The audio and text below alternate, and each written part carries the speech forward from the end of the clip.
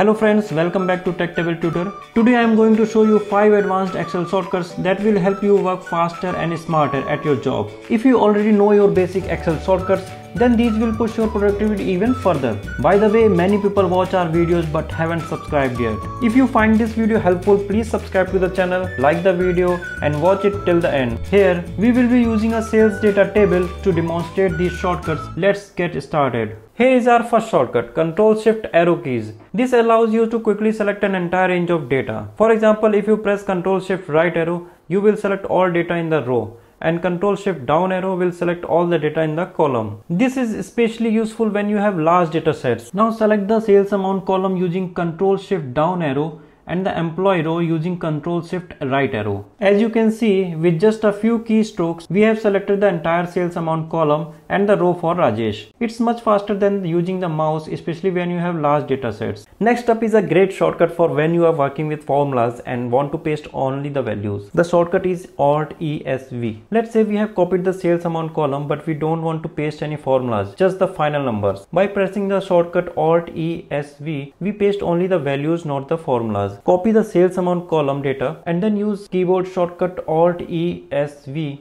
to paste just the numbers in another column. As you can see, we have pasted the sales amount values without bringing over any formulas. This is especially useful when you need to preserve only the result, not the underlying formulas. Next, we have Control 1, which opens the Format Cells dialog box. This is a quick way to format your cells whether you need to change the number format, alignment or font.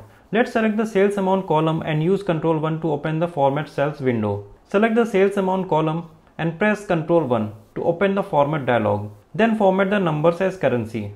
We have now formatted the sales amount column as currency and added a comma separator for thousands. This shortcut is perfect for formatting multiple cells at once, saving you a lot of time. Another extremely useful shortcut is F2, which allows you to edit a cell without using the mouse. For example, let's say you need to update Rajesh bonus. Instead of clicking into the cell, just select it and press F2.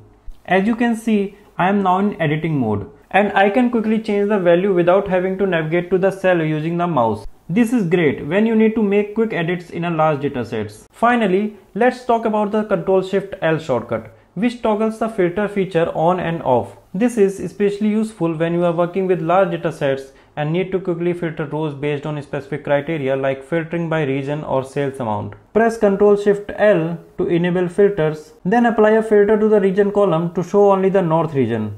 By enabling filters with Ctrl Shift L, we can now filter the region columns to show only the north region. This makes it much easier to focus on specific data without having to scroll through the entire table. Those were 5 advanced Excel shortcuts that will save you time and improve your efficiency. Practice these with your own datasets and see how much faster you can work. If you found this video helpful, don't forget to like, share and subscribe for more tips and tricks. Leave a comment with your favorite Excel shortcut and I will see you in the next one. Thanks for watching.